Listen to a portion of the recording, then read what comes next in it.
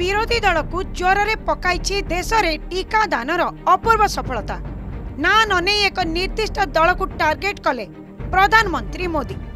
ମୋଦିଙ୍କ ଜନ୍ମଦିନକୁ ବେରୋଜଗାର ଦିବସ ଭାବରେ ପାଳନ କରିଥିଲା କଂଗ୍ରେସ। ଜନ୍ମଦିନରେ ଦିଆଯାଇଛି ଅଢ଼େଇ କୋଟି ଡୋଜ୍ରୁ ଅଧିକ କୋଭିଡ୍ ଟିକା। ଦେଶର ସମସ୍ତ ସ୍ୱାସ୍ଥ୍ୟକର୍ମୀ ଏବଂ ସାଧାରଣ ନାଗରିକଙ୍କୁ ସଫଳତାର ଶ୍ରେୟ ଦେଲେ ପ୍ରଧାନମନ୍ତ୍ରୀ। ସେପ୍ଟେମ୍ବର ସତର ତାରିଖ ଦେଶରେ ପ୍ରଧାନମନ୍ତ୍ରୀ ନରେନ୍ଦ୍ର ମୋଦିଙ୍କ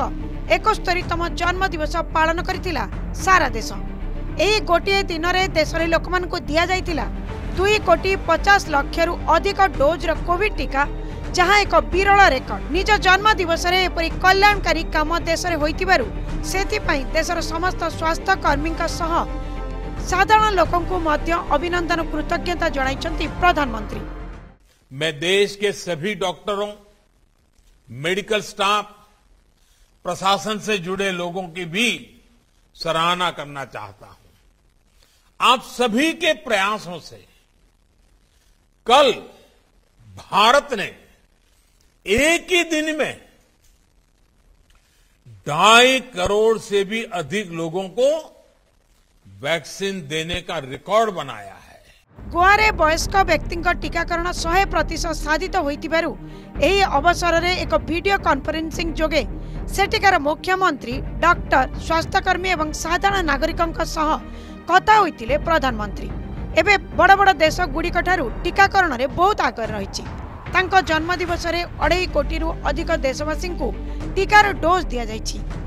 ତାଙ୍କର ଜନ୍ମଦିନ ଏମିତି ଆସିବ ଏବଂ ଯିବ ମାତ୍ର ଦେଶବାସୀଙ୍କ ଜୀବନ ରକ୍ଷା ପାଇଁ ଏହି ପଦକ୍ଷେପ ଏକ ସ୍ମରଣୀୟ ଦିନ ବୋଲି କହିଛନ୍ତି ପ୍ରଧାନମନ୍ତ୍ରୀ साथियों मैं आज मेरे मन की बात भी कहना चाहता हूं जन्मदिन तो बहुत आए बहुत जन्मदिन गए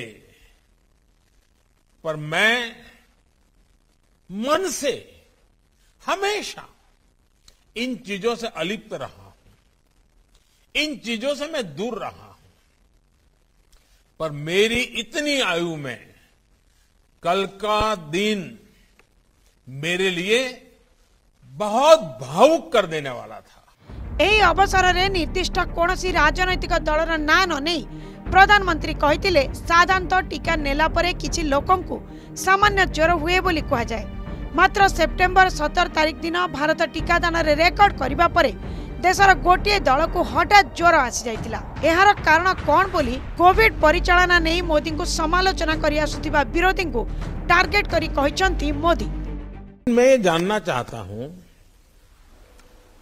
कि जब कल देश के इतने हमारे मेडिकल फेटर्निटी के सब साथियों ने फ्रंटलाइन वर्कर ने कोरोना वॉरियर ने ढाई करोड़ से ज़्यादा लोगों को वैक्सीन लगाई उसमें से किसी को रिएक्शन आए तो शायद हमने सुना है।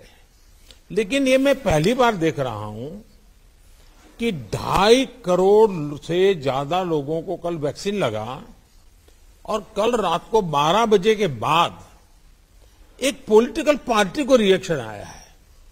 उनका बुखार चढ़ गया है।